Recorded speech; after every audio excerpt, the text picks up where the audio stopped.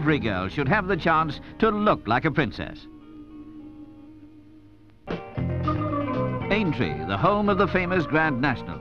Under threat since 1965, the most famous steeplechase in the world had become a joke, like the final appearance of a fading star. For that grand lady of the turf, Mrs. Mirabel Topham, it's now the end of an era.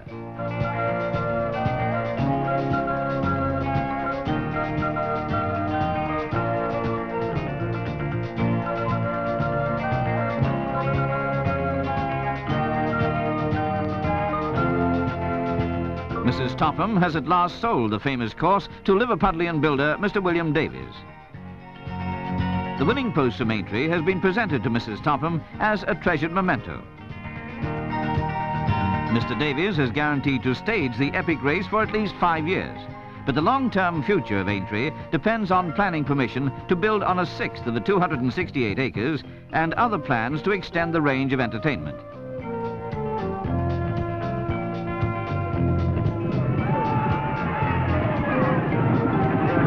Meantime, under new management, the Grand National continues as the toughest test of horse and rider in the world.